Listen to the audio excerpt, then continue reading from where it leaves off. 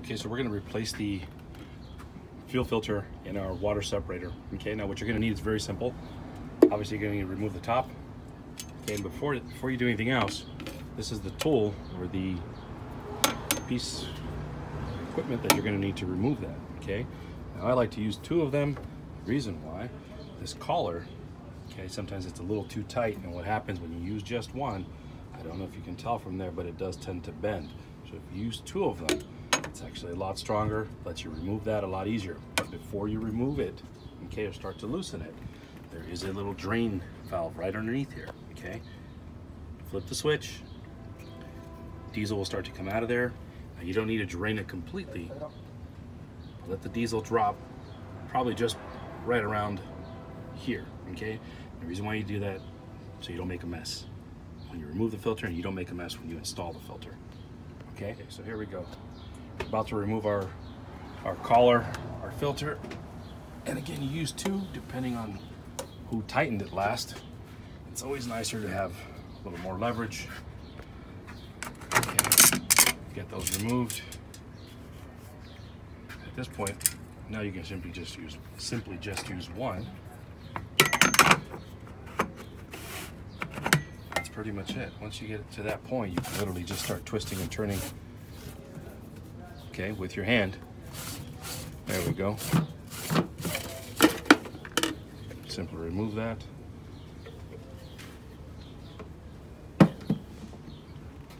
Here's our old filter. Now when you pull this out or pull it up and out, you are gonna have some diesel that's gonna kind of splash back. So slowly, slowly. There you go. Let's get that cleaned up. We're gonna get, we're gonna prepare our second our new filter, I should say. And I'll show you how to do that in a sec.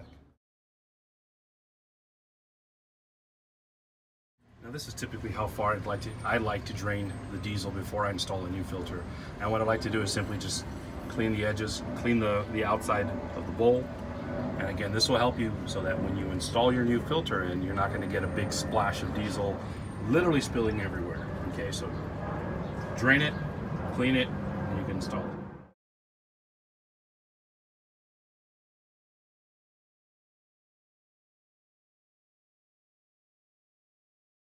Okay, so now we've got our fuel filter and our water separator, okay? We've got the new seal or O-ring that comes with it.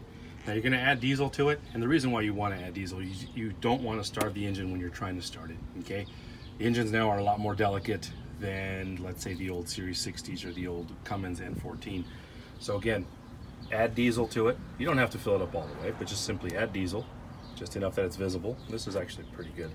Because again, diesel comes in through the lines here diesel inlet, diesel out to your fuel water separator. So again, just enough diesel. That way when you start the engine, it's a nice, smooth start. And again, that's just the easy process on a fuel water separator for a DD15. Or this is a Davco 482.